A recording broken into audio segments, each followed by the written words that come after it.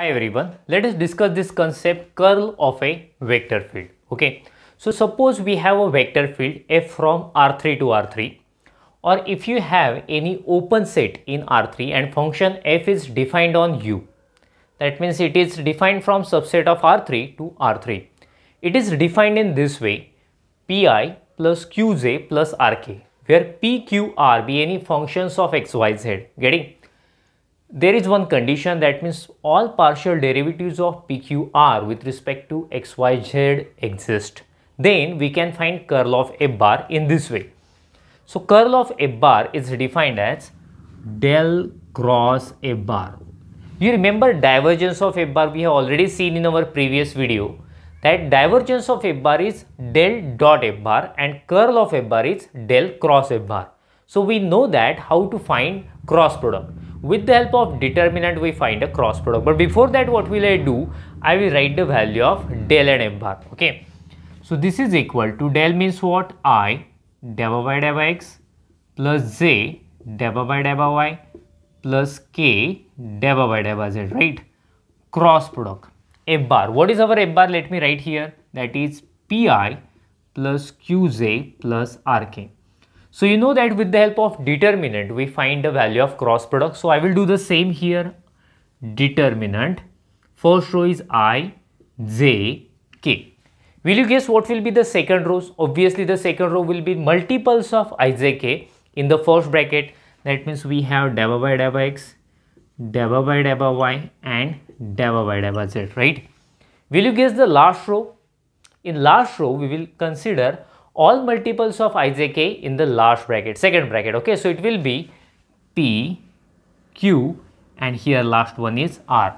So if you solve the determinant, we will have the vector which will be the curl of f bar, right? So in this way we find curl of f bar. Let us discuss one simple example so you can easily understand the concept of curl of f bar. Make a screenshot of it, then I will go further. So let us discuss this simple example, right? We have this vector field f bar we have to find is curl, okay. So curl of f bar. So you know that curl of f bar means del cross f bar. We find the value of cross product by solving a determinant. I will do the same. This is equal to determinant. The first row is obviously i, j, k.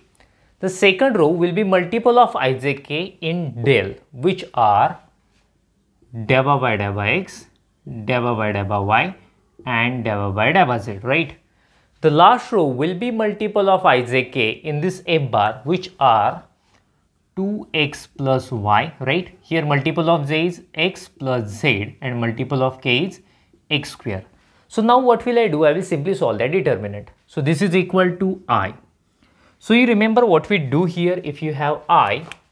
So see we should take product of these two okay so that means i should operate this del by del y on x square. So let me write del by del y x square minus i should operate operate this del by del z on this one. So del by by z x plus z minus z. So you know that when we solve determinant whatever the middle term we have we always write minus sign there. So that's why i wrote minus. Okay. Okay. So let me remove this one. What i should write so to solve determinant, when we take this term, don't consider corresponding row, don't consider corresponding column. So only these four entries will be there. So I should take product of these two and I should subtract. Okay. So let us see what will happen. I should operate this del by del by x on this x square minus I should operate this del by del by z on this one. So del by del by z 2x plus y. Okay. Let me remove this. Will you guess the next term? Now I should consider this k. Okay. So don't consider corresponding row, corresponding column. So you will have these four entries. That means I should take product of this two minus product of this two. Okay. So let us do. So that means del by del by x. I am operating this del by del by x on x plus z minus I am operating this del by del by y on this 2x plus y del by del by y 2x plus y. So let us simplify it further. I derivative of x square. So maybe you are thinking derivative of x square is 2x but see wait.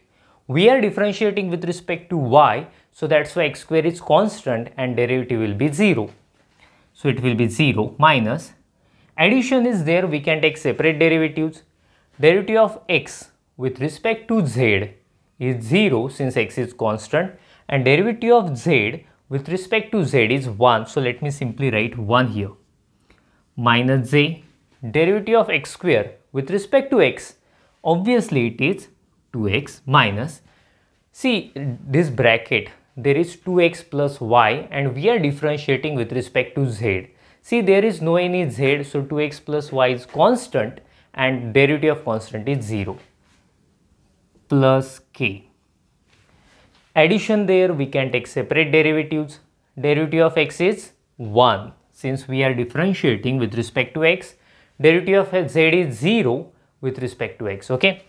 Minus let me write. So derivative of 2x is 0 we are differentiating with respect to y.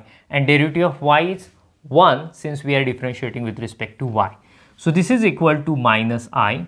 This is minus 2xj and 1 minus 1 0k so this is a required curl of f bar okay so if you have any vector field in this way, we can find curl of given vector field. Okay, make a screenshot of it, then we will stop. Thank you. Bye-bye.